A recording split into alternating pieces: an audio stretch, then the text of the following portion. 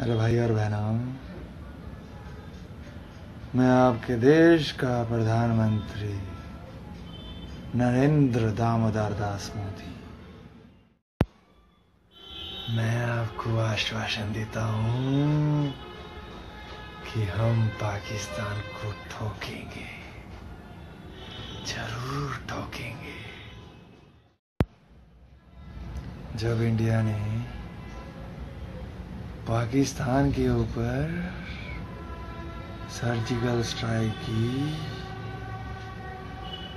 तो उन्हें यह भी नहीं पता था कि सर्जिकल स्ट्राइक होता क्या है। फिर उन्होंने गूगल पे सर्च किया what is the meaning of surgical strike आज ये देश समझता है कि हम लड़ाई से डरते हैं। पर इन मूर्खों को ये क्या पता कि हम लड़ाई से नहीं डरते। हम इस चीज़ से डरते हैं कि अगर ये लड़ाई हो गई